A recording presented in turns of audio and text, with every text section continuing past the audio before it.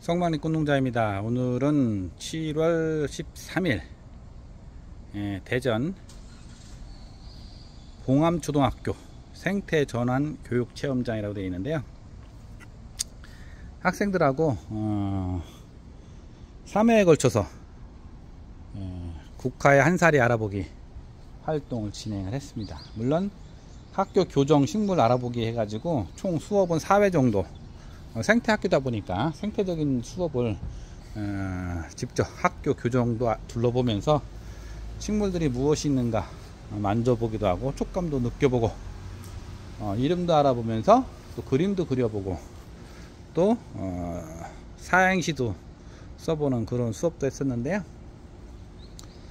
어, 국화 어, 그동안 20일 간격으로 해서 직접 국화를 삽목하고 어, 이식하고 오늘 화분에 정식하는 그런 수업이 되겠습니다. 이게 학생들이 직접 삽목을 했던 거예요. 이름이 다 있는데 만져볼까? 날짜가 아, 6월 9일 날 아이들이 직접 삽목을 했던 거예요.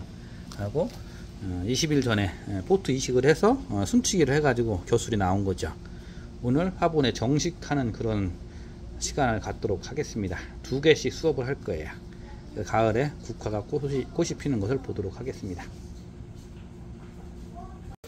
음, 아이들이 실습했던 거. 어, 어, 그렇지, 괜찮아. 어, 직접 식물의 한 살이 국화 알아보기인데 국화. 음, 식물의 한 살이 알아보기 하는 거야. 우리 친구 알아요. 음, 그랬구나. 그. 그렇지. 어, 반듯하게 가운데 심어. 어, 정중앙. 음. 야, 우리 친구들 이거 그때 그 뿌리 없는 거 삽목해갖고 뿌리 내린 거 보니까 어때? 느낌이? 신기하지? 골고루, 골고루. 일단은 여기. 음, 아이들이 화분 두 개씩 심어서 쭉 놨습니다. 음, 잘 관리하면은 가을에 이쁜 꽃이 피겠습니다. 제가 방학 때 한번 와서 크는 거 보고 어, 순치기는 한번 해줘야 될 것 같아요.